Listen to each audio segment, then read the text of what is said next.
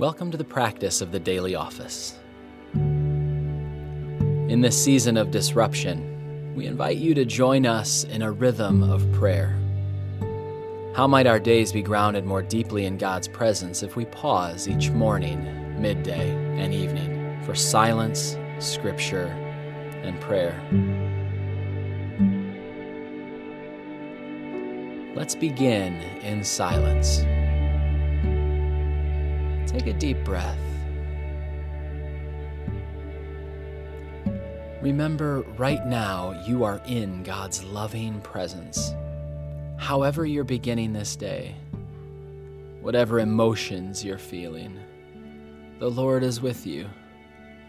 Psalm 139 says, There is nowhere we can go to escape God's loving presence. Take another deep breath. God is closer than the air we breathe. These next two minutes of silence are yours to rest in the loving presence of the Lord.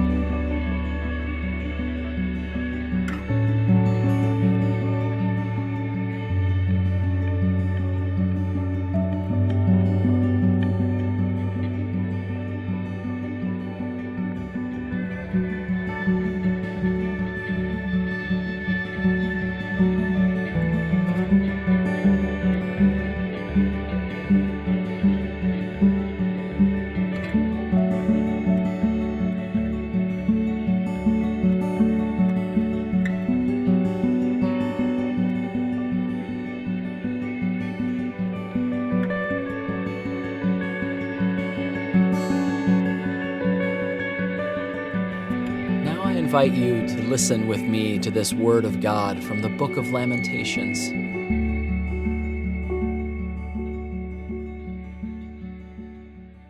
Because of the Lord's great love, we are not consumed, for his compassions never fail. They are new every morning. Great is your faithfulness.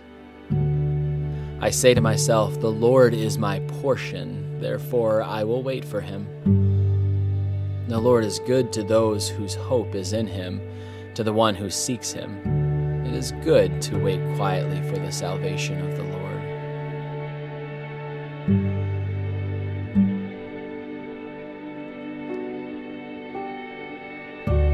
Listen to this passage again.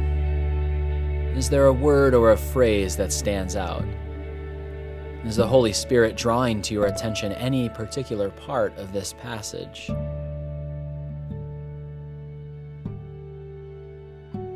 Because of the Lord's great love, we are not consumed, for his compassions never fail. They are new every morning. Great is your faithfulness. I say to myself, The Lord is my portion, therefore I will wait for him. The Lord is good to those whose hope is in him, to the one who seeks him. It is good to wait quietly for the salvation of the Lord.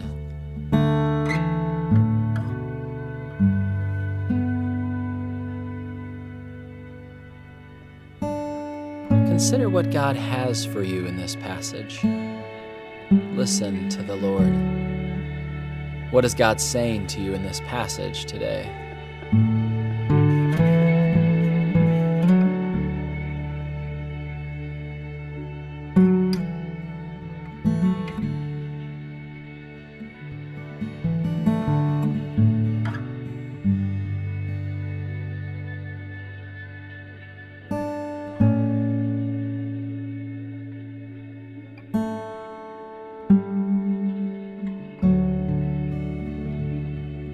Take a moment now and respond to God in prayer?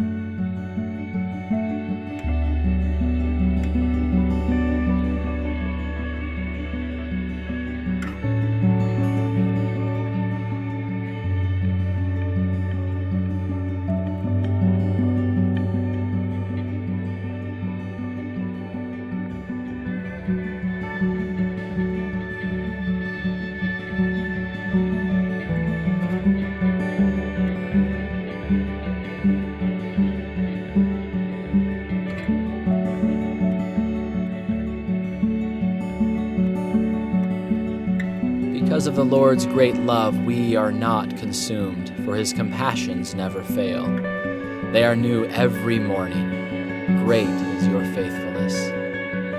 I say to myself, The Lord is my portion, therefore I will wait for him. The Lord is good to those whose hope is in him, to the one who seeks him. It is good to wait quietly for the salvation of the Lord.